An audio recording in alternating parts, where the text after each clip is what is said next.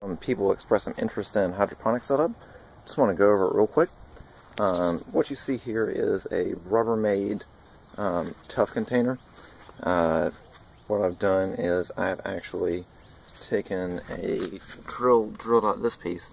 Um, not my prettiest work ever, but I've attached a cooler drain. This allows me to drain it every week or so. Here is the top of it. What I've done here is I've cut six holes and as you can see there are little ridges and these enable me to put these pots which I ordered from a hydroponic store into each one of these and it gives it a nice tight fit. Alright, so now that you get that concept, the next thing is going to be this guy.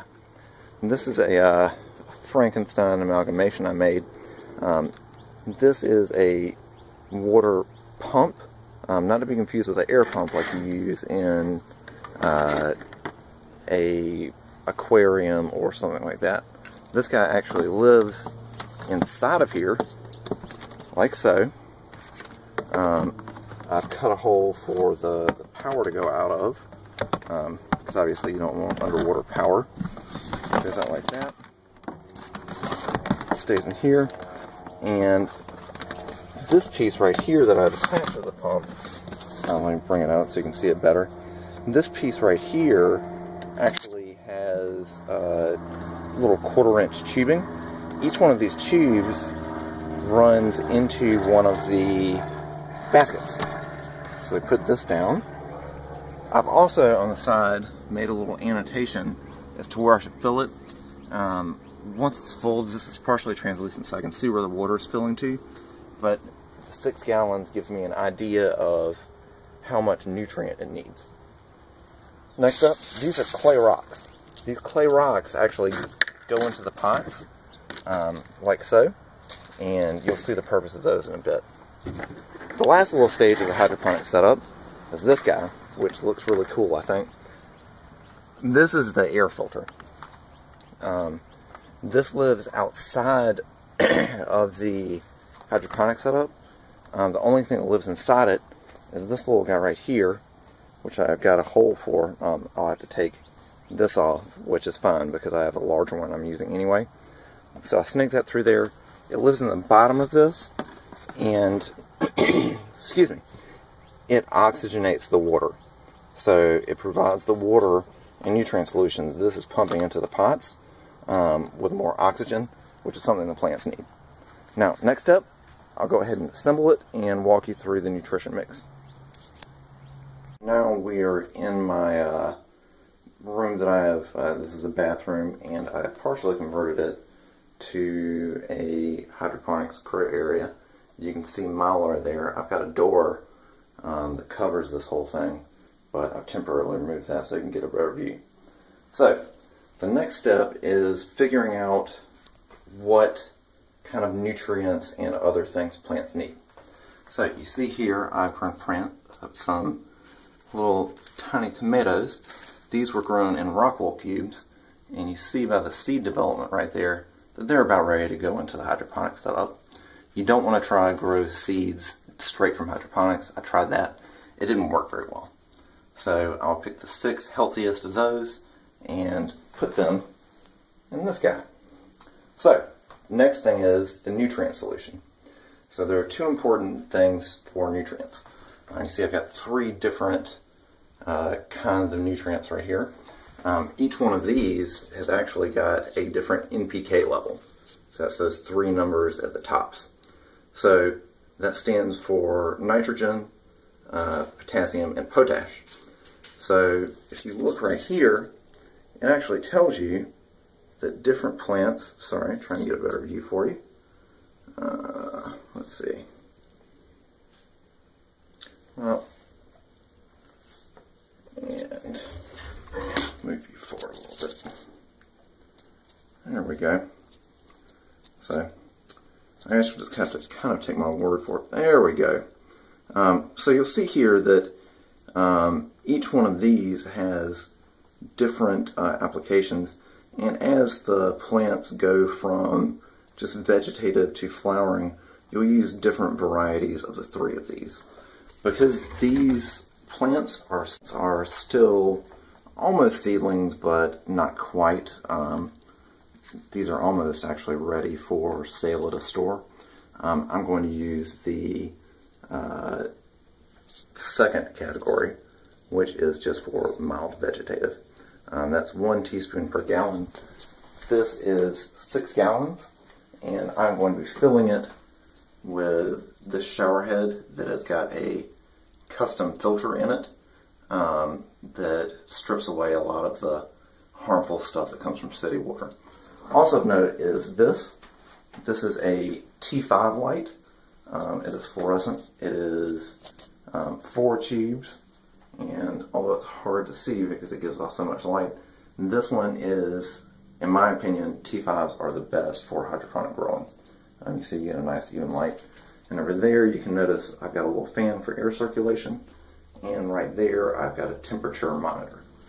So the next thing we do, and I will skip this part, oh, and also I have a manual timer there that ensures that this uh, light goes for about 12 hours a day. Um, 12 to 14 is your optimum. Anything less than that, they won't like it, and anything more is actually detrimental as well. So let me fill this up with water and nutrients, and then I'll show you the work in progress. I've added my three different nutrient solutions. You can see that water is uh, kind of an off-putting color. Um, this device right here is a ppm meter. It measures parts per million.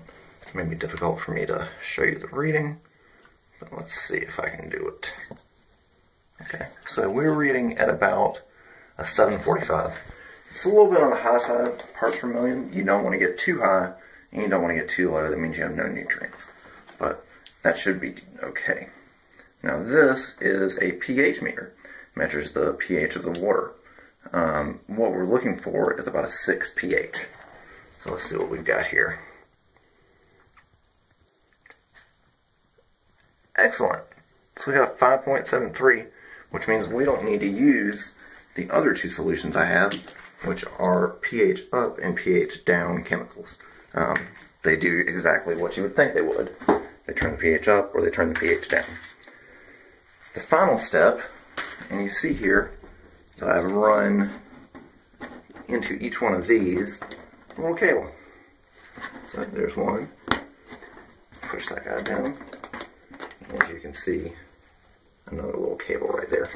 These are going to be the guys that are going to pump nutrients from the solution in the oxygenated mix into um, our solute.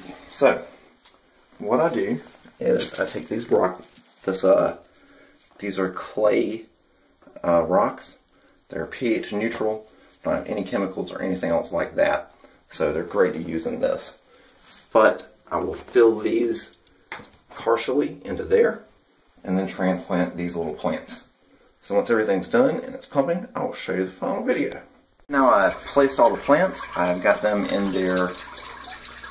Okay, so now I've placed all the plants. I've got them in their um, clay medium. So you can hear that sound. That is the sound of the water circulation. Which, if I lift up this a little bit, you can see that each one of these guys is draining nicely. Now, two quick questions, or rather, two quick things. Um, some people may wonder, why is are the clay pellets necessary? Well, the roots, even though this is hydroponic setup, still need something to hold on to as they grow. Um, it helps stabilize the plants. It's also pH neutral, and it improves the drainage so the water just doesn't build up, um, which can lead to all kinds of diseases. Um, next, I'm going to take this. I've attached it by means of a pulley system. So, just lower it down, each one. And lower a little bit more. You actually want these guys to be a couple inches over the light. There we go. Let's take a look. Yep, it's looking good. I'm going to line it a little bit more. And move that cord out of the way. And voila, we are pretty much done. Um, one quick note that I forgot to mention when you are mixing the uh, the three solutions I previously discussed before, these nutrient solutions, you want to mix one at a time and make sure it's thoroughly mixed before you add another one.